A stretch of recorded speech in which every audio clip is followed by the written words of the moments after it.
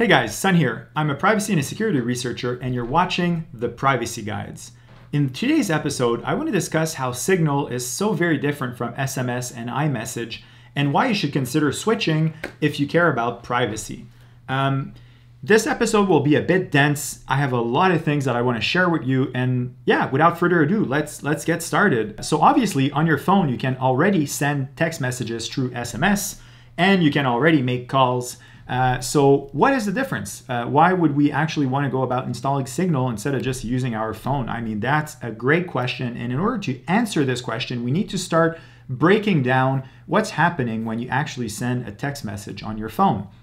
Uh, so your phone uses the GSM network to connect through your carrier to an international network of carriers. And the way that your phone identifies with your carrier is through the SIM card. So all phones have a SIM card. Uh, this one happens to be a physical SIM card that I can actually remove from my phone.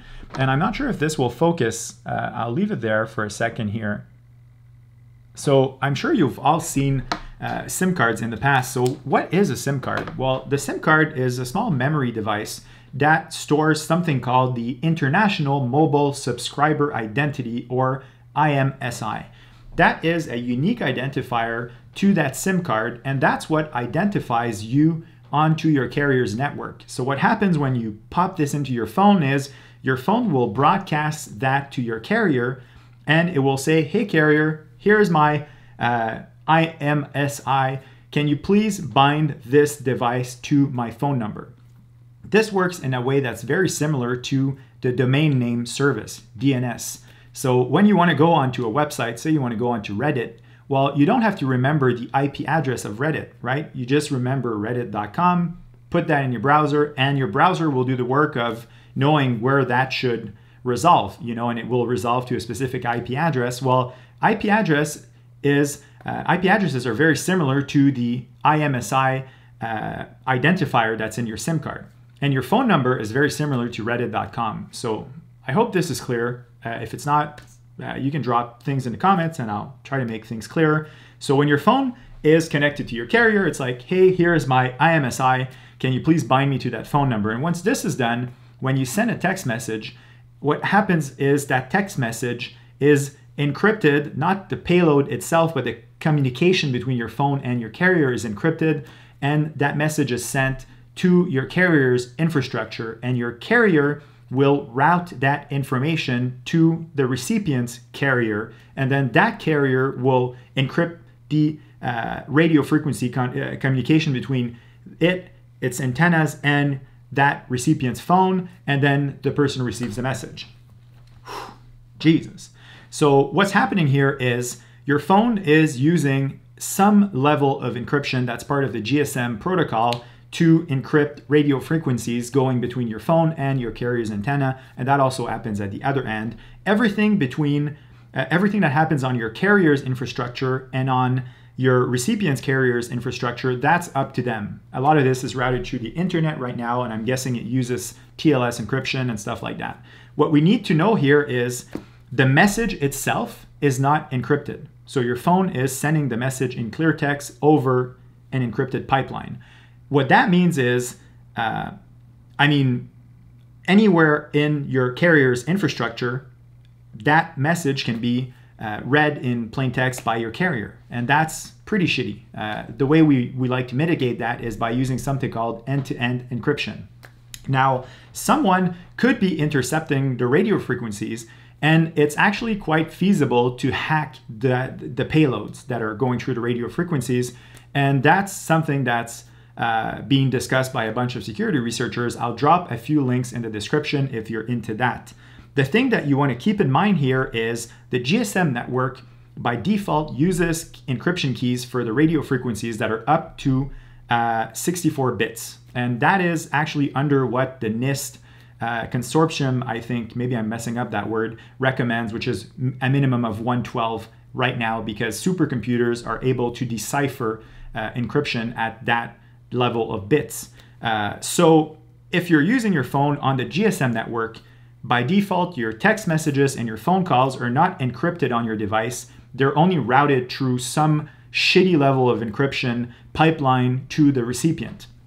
So SMS on its own should not be considered safe. To make things worse, uh, your SIM card uh, and its IMSI, I mean, that is something that someone can use social engineering to ask your carrier to register your phone number to another SIM card, and that person could hijack, you know, your your identity. That that's something that's called a SIM port hack, and it's actually way more common than we would like it to be. So the thing is, your carrier actually decides where to route your calls and your text messages, and someone can hack your identity and have them routed to someone else's SIM card. That's why I recommend never using SMS two factor authentication. I have two episodes on that on this channel, so you can have a look at those if you're interested. Whew! Jesus, that's a lot of information. Hopefully, a few of you are still listening and are interested. Uh, so, SMS is really, really bad. It has no end to end encryption. There's no way for you to know that you're actually talking to the person that you think you're talking to. And your carrier can see the information in clear text. And attackers can really easily, de- well, really easily, not really easily, but it can decipher the information at the radio level frequency. Uh, and they can also do this uh, hacking your carrier's infrastructure. And I mean, so essentially, SMS and normal phone calls should be considered almost public domain, in my opinion. Now, what about iMessage? What does iMessage do that's different than SMS? Well, iMessage adds end to end encryption, and that is super important. What that means is when you're sending a message to someone, uh, your phone will set up a handshake with that recipient and the conversation will be encrypted on your phone and decrypted on that person's phone. What that means is your carrier cannot see this information. In theory, no one in the middle can see that information. So that's actually a huge leap forward. And bear in mind that this information is sent over LTE usually or 3G or 2G. So 2G, 3G, and LTE all have radio frequency level encryption as well. So you're essentially piping an encrypted payload through an encrypted pipeline. That makes it much, much, much safer. Now, there's a lot of problems with iMessage. One of them is you have no way of confirming that the person at the other end is who they say they are. So when you're using, using when you're using PGP or when you're using Signal, you can actually see the fingerprint of that handshake you have with that person and that fingerprint will match at both ends. So there's a way for you to actually confirm the identity of the person when you're beside that person. So when you're physically with that person, you can confirm that you have the same fingerprint. And from that point on, from a cryptographic standpoint, you know that that person is who they say they are. That means that we've just moved the threat model from InfoSec to OPSEC. I have an episode that discusses the differences between InfoSec and OPSEC. I'll link it up here or there or in the description. Um, so iMessage lacks uh, the ability for us to identify the person from a cryptographic standpoint. The other shortcoming of iMessage, according to a lot of researchers, is it doesn't support something called perfect forward secrecy. What that means is once the handshake is established, all of the messages that are sent to that person are encrypted using the same key. And what that means is if someone gets access to your phone or is able to decipher that key, that person can decrypt all of the messages historically. And we know that the NSA is monitoring and gathering a whole bunch of information about pretty much everyone around the world. So that means that if ever they want to break in, they only have to hack that key once and they can decrypt all of the information. I'm not sure what the retention policy is of Apple on their servers, but I'm also guessing that they're keeping the data for much longer than they need. So with that in mind, there's one last thing I need to mention. The encryption is done using 128 bit versus Signal that is using 256 bit. So not only is iMessage lacking the ability to identify the person using cryptographic fingerprints, but it's also using shitty, well, not shitty, but uh, not as strong encryption, 128 versus 256, and it doesn't support perfect forward secrecy. So for these reasons, I consider iMessage to be uh, not a great choice when it comes to privacy. Uh, I would not recommend anyone with secrets to use iMessage. The last thing uh, that I want to mention here, well, actually, I have two other things. I'll start with this one uh, metadata. So you've heard metadata a lot if you've uh, inquired about Snowden revelations.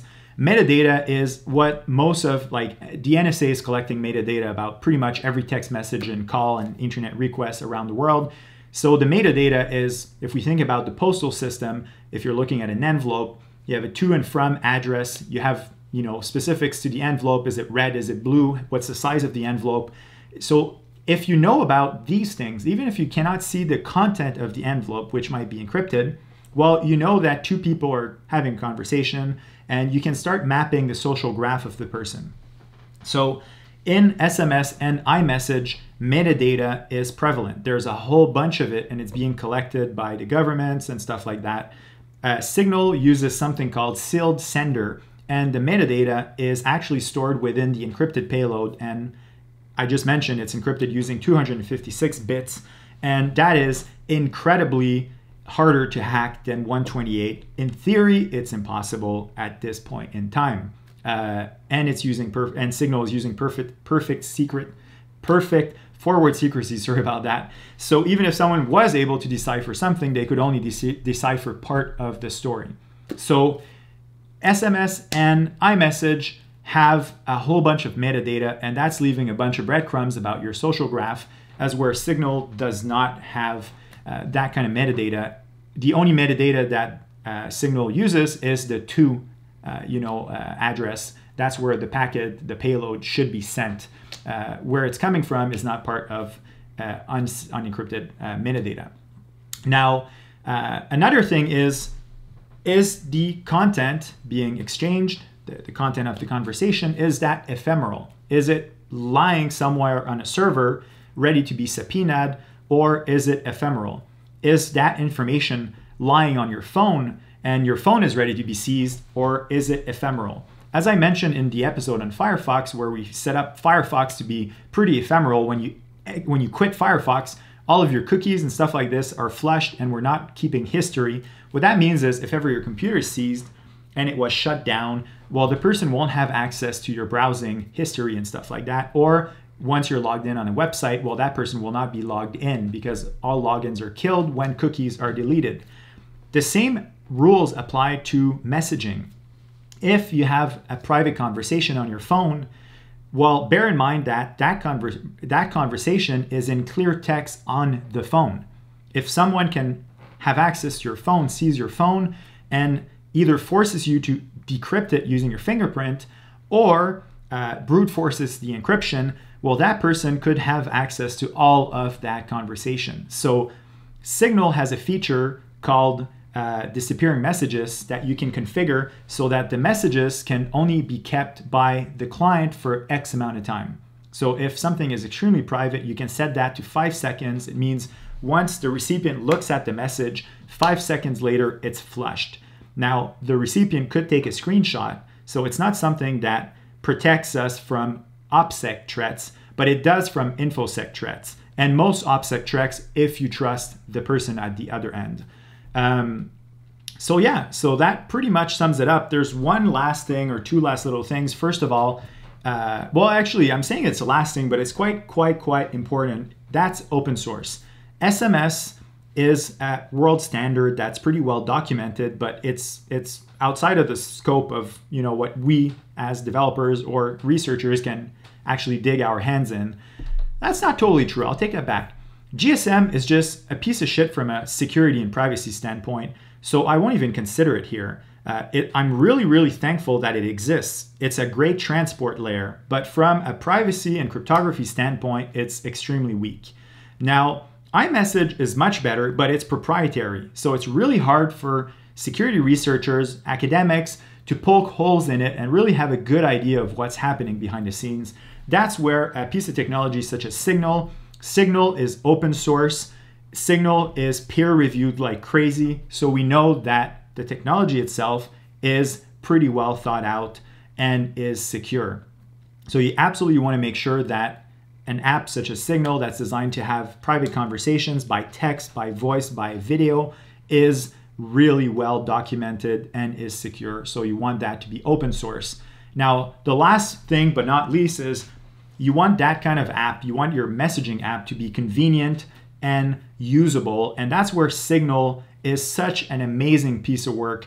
Signal is so easy to use. It uses the same logic than any other messaging app. I got my mother and my dad on it, and they're using it like, I mean, they already knew how to use it. I mean, it's such predictable user experience nowadays that migrating from you know SMS or iMessage to Signal is a real piece of cake.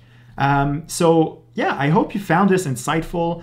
Uh, in the next episode, I'll go about configuring it uh, just for people who may not want to you know try it out themselves. They want to see it before. So I'll set things up. I hope you like that. If you're into privacy and you haven't subscribed to this channel yet, smash that subscribe button. Drop a like for the YouTube algorithm. Uh, and yeah, I'll see you in the next one.